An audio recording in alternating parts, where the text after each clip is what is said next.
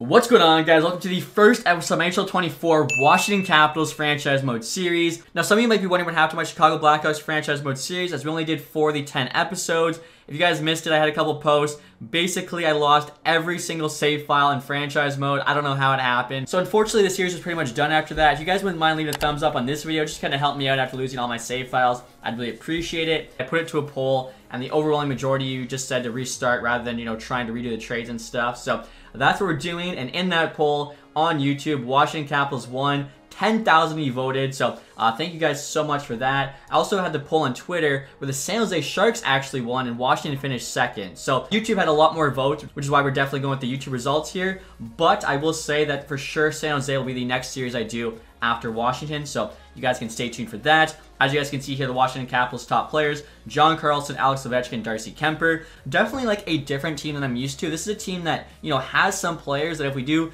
a couple moves right now, I think could compete. But definitely, you know, once Ovechkin retires, Carlson's no longer good, Backstrom, Kuznetsov, all those guys, uh, they'll definitely need a full-blown rebuild. So I'm hoping uh, we can compete for the first three or so years, but by 2026, I'd like to get that first overall pick and land Gab McKenna. As you guys can see, right out of the gate, we're 90 overall, which actually has us tied with the Devils there as the third slash fourth highest rated team in the Metro. And as always, guys, for this series, I'm going to have owner mode turned off, side caps on, um, Fog of Wars turned off, same with player morale. Also, too, guys, as always, injuries are turned off, just cannot be bothered. Franchise mode length there's 25 years, but as always, I'm going to end it after the 10th season. Uh, difficulty superstar if it matters. Sorry caps on. Trade difficulty will be set to hard just to make it a bit more difficult on us. Now, in terms of the advanced settings here, sim engine scoring to medium, speed to high, draft class quality and prospect quality I'll set to low. But what I'm thinking is actually after like the first three years, so probably in 2026, once like all the real life prospects are gone, aside from McKenna and I think one other guy, I'm gonna bump these both to medium. Also, two guys gonna have attribute effects here set to 9 out of 10 just to make it more realistic in terms of good teams simming good and bad teams simming bad. And now for this franchise mode, guys, I'm gonna be using Vasi's roster update 2 as the custom roster. I gotta thank you guys all for downloading mine. Over 7,000 downloads is insane, but I made that like in 24 hours just to have a day one roster.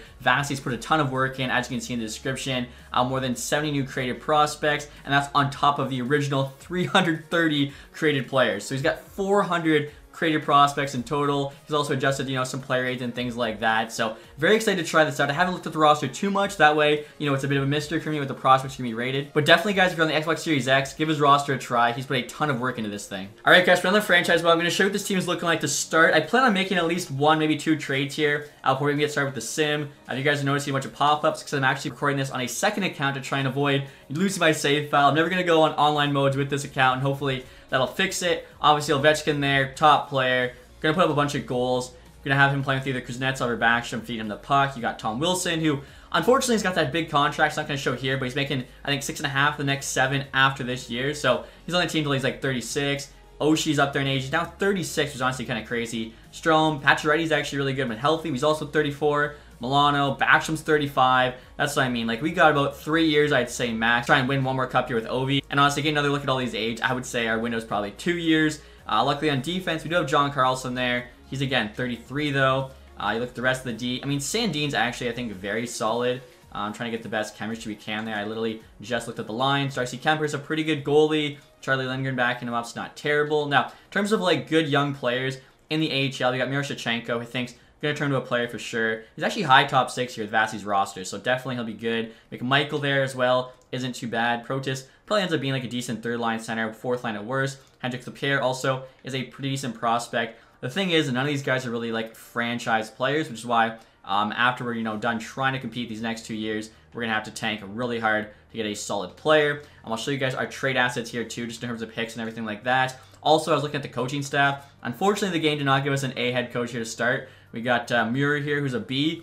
I'm fine with it though. I looked at like other head coaches. There's no A free agents available. The best to B minus. So we'll probably keep him. If he does, you know, go up in rating, whatever. Um, obviously, I like to keep him the whole way. That we can kind of have you know your record at the end, seeing all the President's Trophies, Stanley Cups, as well as just like your win percentage for the whole franchise. So, um, like I was saying, guys, you look at this here. I think pretty much all of our prospects were shown except for Ryan Leonard. He's got him as a high top six, which I think's pretty fair. You could even argue four medium elite draft picks there. We still have our first round pick this year, some other late picks. Again, in real life, you look at the Capitals, they're definitely kind of in no man's land. Not really good enough to win a Stanley Cup, nor bad enough to finish last, which is why I'm going to try and make them good enough to at least make the playoffs here the first couple years. And even if, you know, we fall short, we got to try, I think, with this core. Afterwards, of course, we are going to tank hardcore. So I'm um, looking at free agents. Patty Kane, 84 overall, 1.9 million. Uh, just like me, Vasi's kind of nuked his rating quite a bit. He's actually lowered him even more than I did, but he still has sick puck skill, still has 95 offensive awareness. I don't know if anyone's going to like this, but I feel like we have to try and make a play at Patrick Kane. We'd have to make a trade first as well to like clear a bit more cap space, but I think it's worth it. Like Kane's that good. He'd honestly fit our window perfectly. He's only going to be good for the next couple seasons. All right, guys, so the play I'm going to try and trade away here is Sonny Milano. He's 27, making 1.9 for the next three years. I feel like that's going to be pretty easy to trade away. He's also got the It's Tricky X Factor. Um, I feel like there's obviously worse contracts, but it's on veterans who I'm fine trying to win with. Also, to look at the defense here, like Jensen and TVR have pretty bad contracts. I feel like Jensen probably is a bit better than 81 real life. TVR, he's a good shot blocker. He's okay defensively. Uh, three million, three years. I'm thinking like both these guys we could try and trade after the first couple years because obviously we need someone in the defense, and aside from Alexeyev, no one's really going to be good enough to actually make the team. And you know what, guys? I actually take that back. I am trying to trade Nick Jensen right now with Sonny Milano to the Nashville Predators for Tyson Barrie and a third-round pick, uh, both burying the picks on the block. My thought process behind this is we're trying to compete right now. Carlson's on power play 1, Barrie's on power play 2. Even though he's only 82 overall, he's still very good offensively. Uh, he's costing us extra 500k on Jensen, but we're still shining the entire Milano contract, which should be enough to sign Patrick Kane. value's pretty equal there. We'll see what the Preds say. Trade's accepted. We're calling up McMichael. We'll see about that. He might stay in the AHL, but I think that's a very good move for us, at least for like the immediate future. And next you guys are trying to make one more trade the Buffalo Sabres to get Luukkonen, He's actually got him here with low star potential, so not quite as high as EA's ratings at all. Uh, 80 overall there, low start at 24. Could potentially be the start of the future after Kuemper, but honestly it's more so for getting a slightly better backup than Lindgren. He's one overall higher, and he's making 300k less. At 300k could be the difference between us signing Patrick Kane or not. Also, I need a sixth round pick on our side. Trades accepted. Okay, so uh, great move for us there. Also noticed too when looking at our draft picks, we have three thirds this year as well as three seconds next year. So we're actually you know pretty good setup here in terms of uh, the draft. I feel like we can you know find some uh, late round steals. Now next year, guys, like I said, I want to try and sign Patrick Kane. As you can see, we have like just enough to afford him. Hopefully, no one outbids us. I can give him 25k as a bonus, and that's my max offer. I'm sure other teams will be interested as well, but maybe they'll actually make it a bit more realistic, like kind of a lottery there for Kane in terms of you know where he chooses. I think this way it's a bit more random. Justin Puljujarvi there, 25-78, low top six. Wouldn't be a terrible ad for the AHL team. Um, I'll do it after I sign Kane, just in case it somehow messes with it. And look at that, guys. Patrick Kane did say yes. Okay, so uh, he's going to be on the top line, feeding Ovi the puck. Kane's obviously such a good playmaker. Ovi's a great sniper. This could be the best duo in the NHL this season if everything goes right. And our Justin Puljujarvi here, guys, is still available. I see we have 49 to 50 contracts, so there's a chance we'll actually be at our max. Offer him a league min just for fun. I'm actually kind of surprised, you know, no one's given a chance on Puljujarvi real life yet. Speaking of, too, like the signings that made me think, uh, before I forget, I want to do some extensions. There's actually some really important ones we have to do here. So Kane, I just gave one year. He's going to ask for a lot more after this season. Uh, Patry, same thing. I don't even think I can extend him. Barrie, though I could. I see him having a pretty solid season. Three years, least 35. I mean, if our window's the next three years, we'll need him for two more years, and I'll offer him, I don't know, two years, 2.5. If he says no, I'll just add like 100k until he says yes.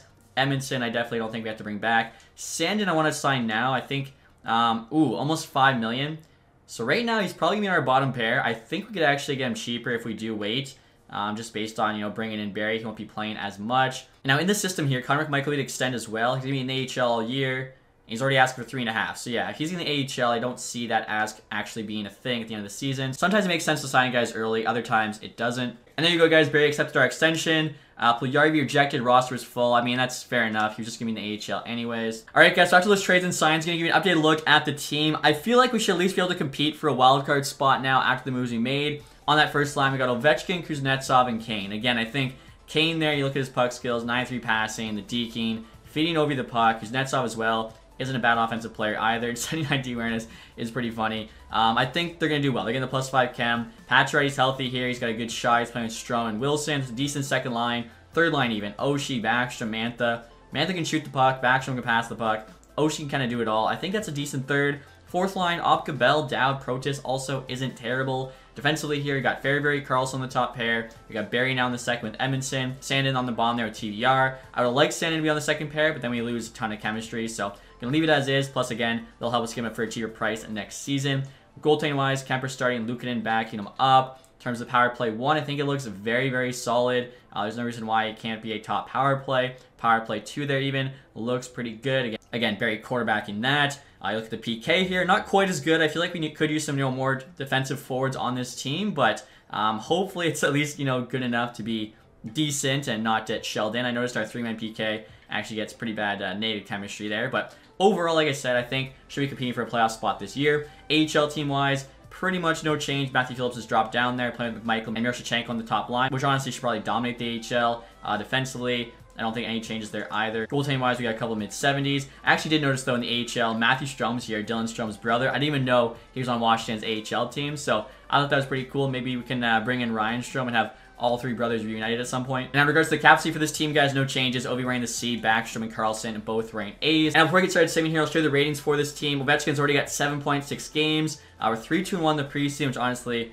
doesn't really mean a ton. So we've got 93 offense, 90 defense, 85 goaltending. Again, should be decent enough to be competitive. Let's see what happens. Also, you guys, before I forget, I should show you what the scouting situation looks like. I've actually got two scouts in Russia now because I noticed they've got almost as many players as like US and the CHL league, so I think it makes sense. Then we got the two in Liga, two in SHL. Obviously, every region I want A+. plus. Uh, the Russian, because the scout's a B, I'm letting it be an A. I got Extra Liga Dell, two in UA East, Central, West, and then of course two in each CHL league. I'm actually hoping to have a video tomorrow explaining how I do my scouting in depth, so keep an eye out for that. All right, guys, so right now we're at the end of December with a record of 16, 16, and 2, which is good for 34 points. Uh, we're 9 points out of a division spot, and we're like 8 points out of a wild card spot. Every single team in the Atlantic is actually doing better than we are, which is kind of crazy. So hopefully can start to, you know, pick it up a bit. I mean, the Blue Jackets are having 42 points. It's kind of crazy.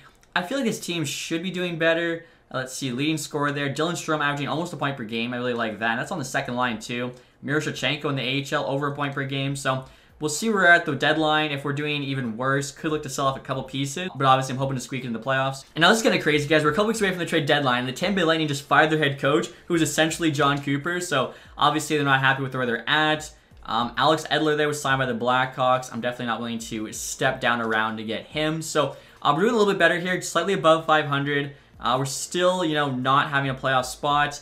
Um, we got a couple wins there, though. We'll see kind of how we do. Actually a three-game win streak. The Coyotes beat us. Big 9-2 win against the Penguins. So we are 31, 26, and 4 here at the deadline, which gives us 66 points. We're 8 points away from the Blue Jackets, though, who have one of the wild card spots. 9 points away from the Panthers. Jeez. So even though we're doing a little bit better, the East is just too good. Yeah, in the West, we'd have both wild card spots. That is crazy. So Oh man, we are in such a tough spot. Like, I really don't know what kind of trades we're gonna make. There's just gonna have to be like the perfect trade available, basically. Ovi's actually a leading scorer now, about a point per game. Miroshnichenko just under a point per game. So we'll see what's out there. Definitely not gonna be selling off too much, nor am I gonna be doing any crazy ads.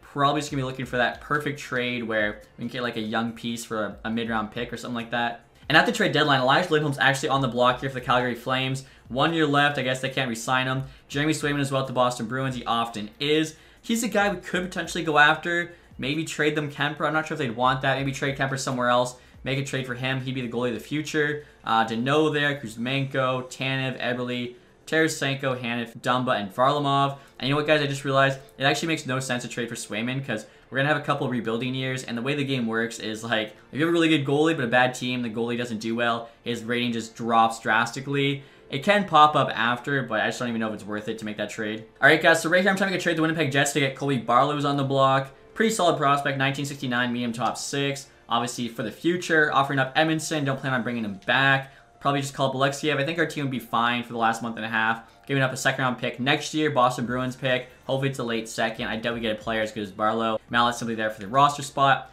See what the Jets say. Value's pretty equal.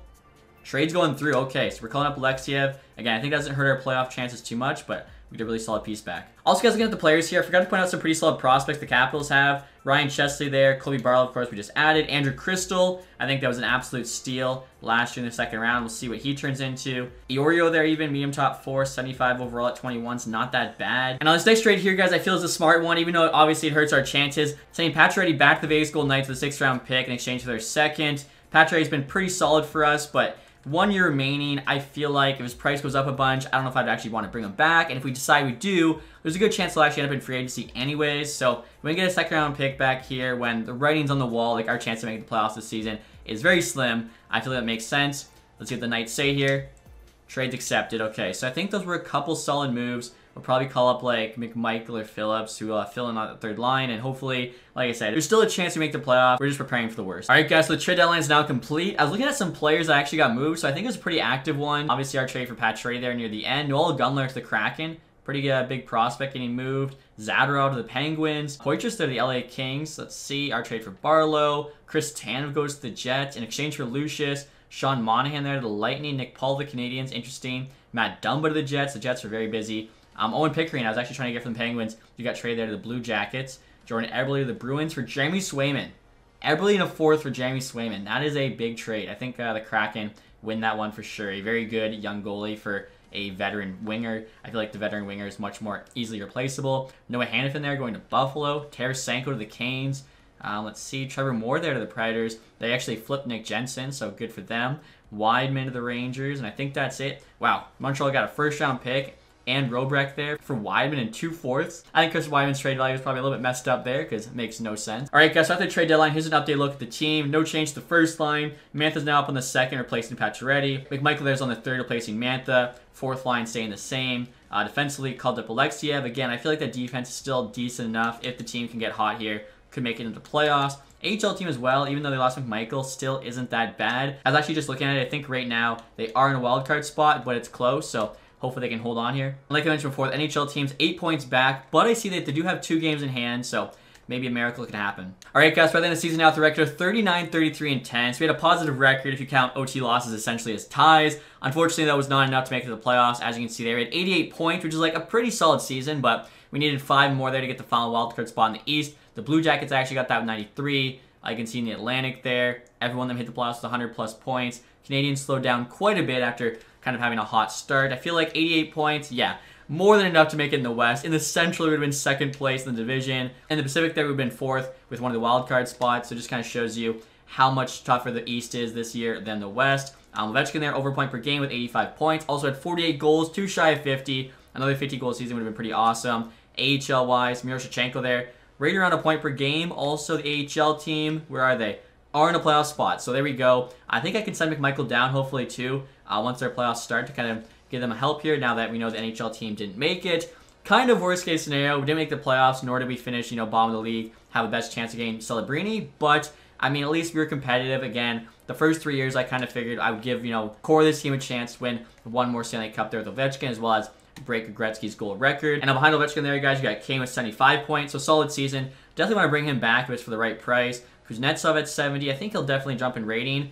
Kane definitely should too, as he was only 84. Uh, Strome 69 points, nice. Carlson there 63 is not bad. Wilson put up 62. I actually didn't expect that much production from him. Barrie 44, not bad at all. Backstrom 40, not as much as you'd hope, but he was playing third line center. Maybe we can like move Strome to the wing or something, get Backstrom in the top six here. Mantha also close to 40. Should be able to take a pay cut. I'd probably bring him, bring him back if he does. Oshie 31. Everyone else there obviously just chipping in a little bit. Sandin definitely not going to be asking for 4.5 million after only putting up 12 points. Goaltending wise, Kuemper here, 907 to 317. So above 900 save percentage. I feel like, yeah, it's definitely more on the team, his numbers, than his own performance. AHL wise, really, Stevenson here I think is an okay goalie, but don't care about either of these guys in the future. Uh, behind Miroshnichenko, Phillips there, 63 points. Snively at 50. Lapierre 45. So uh, the fact they're in the playoffs obviously is a nice sign. And now look at the entire league here, guys. Matthews put up 110. Aho 104. McDavid 102. I am curious. So you made McDavid a 97 like me with pretty much all 99 stats there to make sure he does sim well consistently. Adam Fox had 100 points. Adam Fox sims so well. Tage Thompson, Pastrnak, MacKinnon. Most goals here does go to Matthews, followed by Pastrnak and Rantanen. Ovi actually finished fourth. In terms of defensive scoring, of course, Fox gonna be number one there with 100 points. Like, that is just crazy. John Carlson, though, did make it on the first page, which is nice. He was also a plus 15, even though the team was, you know, pretty average. Ullmark there, the most wins with Boston, 45. Save percentage there. Sorokin, though, 923. And then goals against you, though, goes to Samsonov. So honestly, I'm not too sure who's going to take on the Vezina. And then finally here, guys, rookie skaters. I assume it'll be Bedard. And yeah, Connor Bedard put up 94 points. already in 88. That's crazy. Uh, Carlsson there, 70. Fantilli, 60. Same with Cooley. I actually gave all three of these guys a little bit of a boost just because, you know, I think they're playing a bit more in real life. So I think Vasi had them all like one or two overall lower, but basically I wanted to see them perform like this the rookie season as that's what I'm expecting in real life. And now in terms of the entire league here, guys, I am curious. So Maple Leafs won the President's Trophy, 111 points. You had six teams there with 100 plus. I want to know though, like, okay, Ottawa finished 11th and missed the playoffs. That is absolutely insane. So Columbus in 10th was the final wildcard team in the East. which means eight of the top 10 teams in the NHL were from the Eastern Conference this year. Like, that's incredible. I was curious to see if, yeah, okay, so we're literally a top half team. We're just playing in the East. Like, we finished 15th in the NHL, missed the playoffs. I mean, that's like unreal. So, if the East can slow down a little bit, um, I think we do have a shot at making the playoffs in one of the next two years. Seattle, they actually finished last. Not a great start to the season either for them. And in real life, they haven't had a great start to the season, so we'll see whether or not they turn around. All right, guys, let's start the HL playoffs now. I just sent McMichael down. Hopefully, he can help this team at least win one round. We're playing Springfield here. And okay, I think we actually did beat them there three to one. That's nice. And the second round, guys, we're playing the Charlotte Checkers. Accidentally simmed game one, but it was a win. I love the accidental sims where they turn out wins, but not when they're losses. We actually swept them three nothing. AHL team kind of rolling here. Next up, we got the Rochester Americans. This, of course, is the Buffalo Sabres AHL team, which is probably going to be pretty good. They got a lot of good prospects. And yeah, they sweep us 4 nothing. So we made the conference final. Have to be, you know, pretty happy at least about that. And the playoffs are now complete, guys. Are you kidding me? The Stanley Cup champions are the Nashville Predators? In what world? I mean, we traded them Nick Jensen, and we traded them Sonny Milano, and apparently that made them Cup champs. That is hilarious. Uh, Calder Cup champs, they're Rochester Americans. We lost the best team, which is nice to see, but I gotta take a look at the playoff tree because I want to know how did Nashville win the Stanley Cup? Uh, Seattle there, taking first overall, gonna get Celebrini. Chicago at two. We're picking 14, so not the best spot at all. Definitely gonna have to trade some picks, try and move up at least to like the top 10, where there should still be some elite players. Yurshchenko, 13 points in 11 playoff games, pretty good there. Again, the playoff tree, like Nashville, I didn't even think was doing that good at the deadline. I want to say they were slightly above 500. Let's take a look here. So Nashville Predators beat the Blues in five, Avs in six, Kings in five, and then the Red Wings in five. The Red Wings in the Stanley Cup final this year. I would absolutely love that. Obviously, I'm not holding out too much hope, though. In terms of the awards, so I think the team awards, we know all of those. Individually here, Matthews, Art Ross. Hart Trophy, though, goes to Draisaitl, Fox, James Norris, Suzuki, Lady Byng, Bedard got the Calder, of course, Forsberg, Conn Smythe, Sorokin, Vezina. Samsonov, though, got the William Jennings, Lindgren, Bill Masterton, LA coach Jack Adams. I feel like that should have went to the National coach or the Red Wings coach. Uh, O'Reilly Selke Trophy, Matthews, Ted Lindsay, along with the Maurice Richard. So big year for Matthews. AHL wise, Rochester Americans there when they called their cup. And I didn't even realize this, guys, but we actually finished with the best regular season in the East, so that's pretty cool to see. Of course, that means we won our Division Two. Um, in terms of the individual awards, Jack Drury there most points, Coronado MVP, Colin White most goals, Coronado best rookie, Honker their best defenseman, Levi best goalie. Buffalo didn't have an NHL. Interesting. So he probably needs to be a bit higher rated for that to happen then. Uh, Rusek, MVP the playoffs. Miroshchenko sportsmanship. Okay, we get something. Sean Day, community involvement. And then Levi there also had lowest goals against. So, um, interesting awards. I actually want to take a look and see that Nashville Predators team that won the Cup. Like, what other moves did they make? Because if they won the Cup with, like, the team that they have right now, that is insane. All right, so let's look through here, guys. I mean, Nyquist went up in rating, same with Novak. That's right, they made that trade for Trevor Moore, flipping Nick Jensen after we gave him to them. Milano, of course, we gave them. It looks like they added Trevor Moore, and that's about it. Wow, maybe uh, Saros just absolutely stood on his head in the playoffs because right now, not being able to make much sense of this one. I mean, yeah, okay, 9-3-4 save percentage is pretty good. Uh, I went on a crazy run, but uh, Cinderella story there for the Preds. Good for them. And before we get to the trade deadline, guys, I actually want to offer an extension here to Patty Kane to see if he's willing to sign. Because if not, obviously, uh, I'd be willing to trade him. Four and a half million for the next two years. I offered him exactly what he wanted since he's not interested in an extension. So Hopefully that way he'll say yes.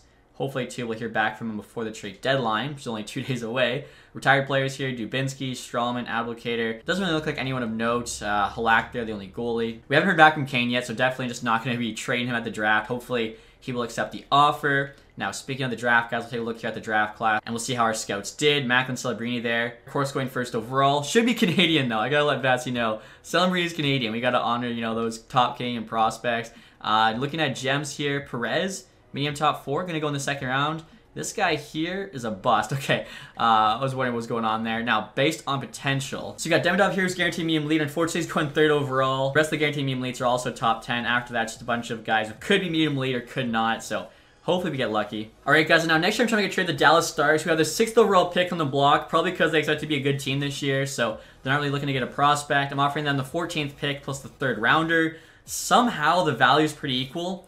I don't know how. Like, usually it costs a lot more. Maybe Dallas doesn't really think there's going to be a great player available at that spot. We'll see what they say to this. It's amazing value if they do say yes. Trades rejected, okay. Um, I was honestly a little bit worried there. I feel like we could give up a couple, you know, thirds, or maybe we could give up a player they like. All right, guys, so out of the Avalanche, second round pick, 2025 to this trade. Hopefully enough to move up from 14 to 6. It's definitely a lot more fair now. When I thought just a third round pick might have got to go through. Stars still reject. Uh, quite close to fair value. Okay. I mean, we're getting them two 24s. We could make it...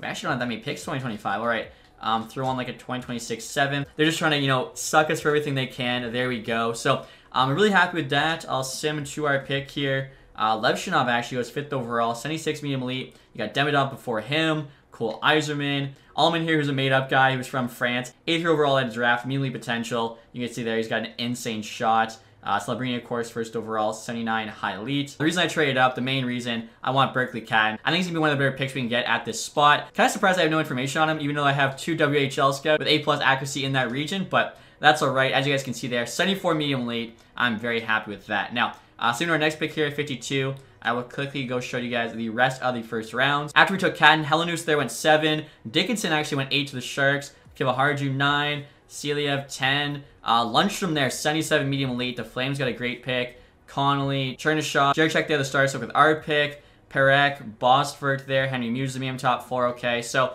aside from the Flames, no real steals. Now, Having said that, I think we might be able to land a really nice pick here, guys. So, um, I think I showed you before I pinned him, and that's this Perez dude. 99% sure he's made up. Guaranteed medium top four. I didn't realize he's actually already NHL ready. So, he's going to be very high rated. Let's take a look here.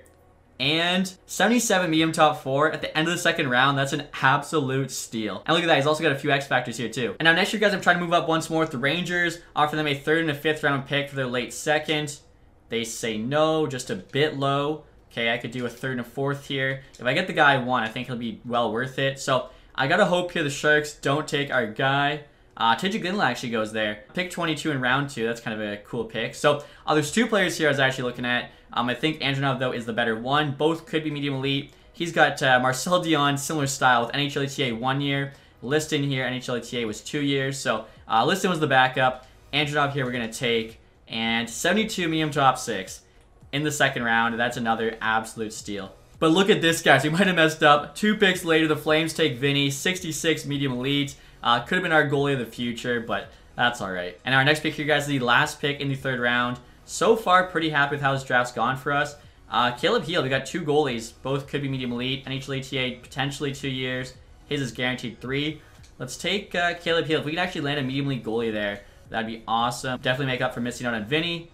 And he's a medium starter, but he's 65 overall. Like, that's not too bad. And our next pick here, guys, in the fifth round. Hopefully, I can have another solid pick. I believe this is actually our last pick of the draft. Uh, Nemestikov, I know for a fact, is not medium elite. We could take Salo here, guaranteed medium fringe starter goalie. Uh, really, there was no one even worth taking a chance on. He's only at 47, but for our last pick, I don't mind that at all. And there we go, guys. Kane did say yes. The offer made him. So honestly, at this point, don't have too many players to resign other than Sandin. We got almost $11 million in cap space. Again, all of our top players there. Mantha should want a lot less. Yeah, 2.5 for two years. We got like two years left to compete.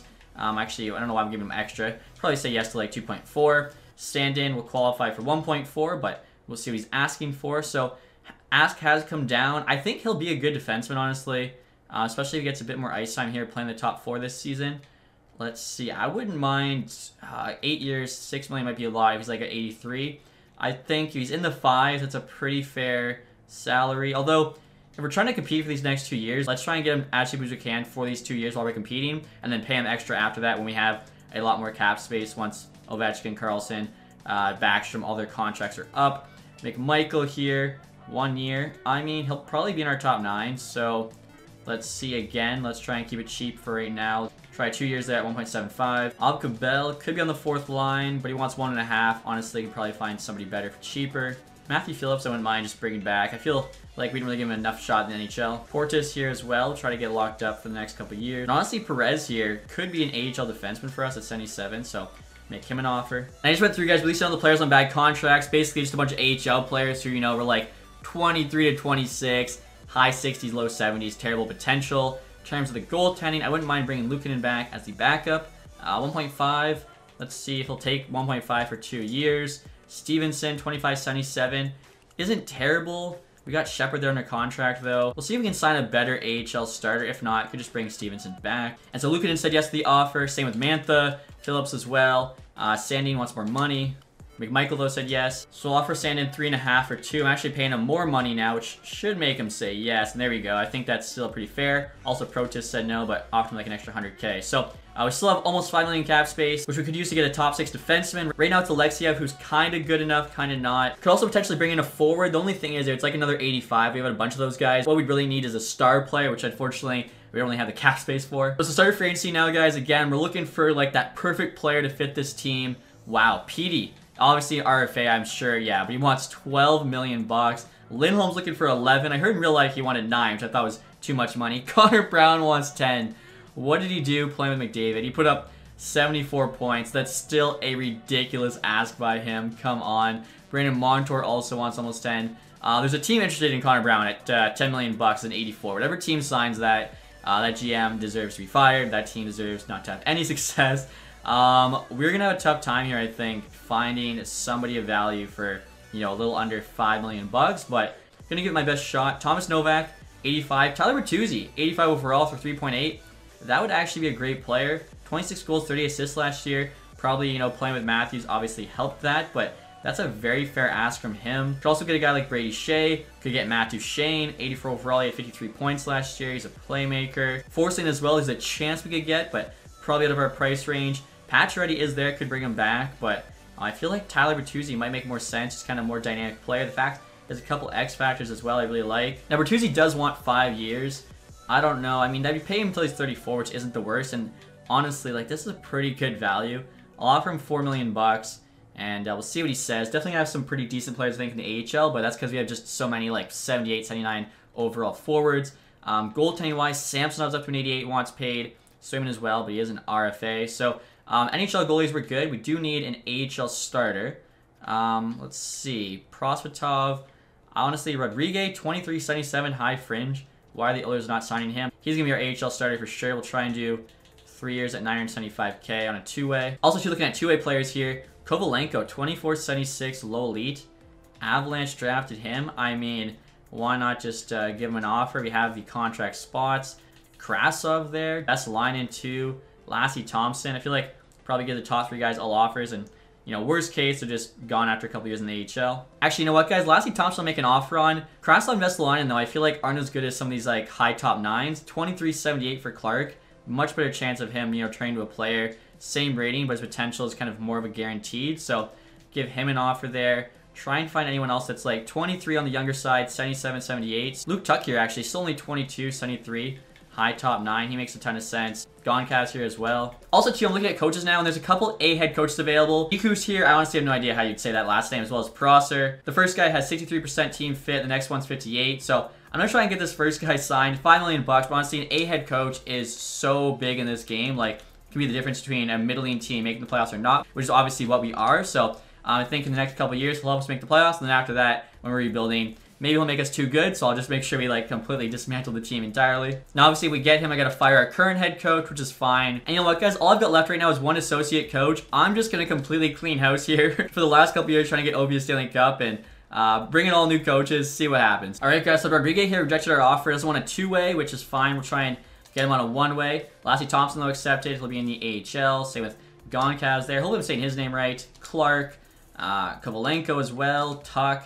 Still waiting to hear back from Bertuzzi. Our head coach rejected the offer. Doesn't feel the quality of the roster matches the challenges he's willing to take on. So he doesn't want the challenge of, you know, trying to get this team to playoffs. Bertuzzi, though, said yes.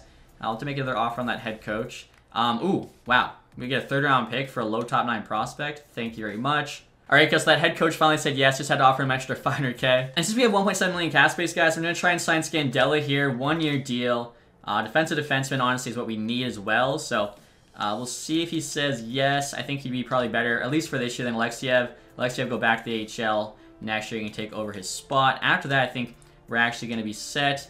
Is the team going to be, you know, good enough to make the playoffs? We'll see, but, uh, oh, wow, Scandella went with the Flames instead. So, maybe we get, like, Erik Johnson there, I saw. There's still some other players. Actually, Johnson's gone now. 80s, you got Chatfield here. I'm basically just curious about the defense awareness.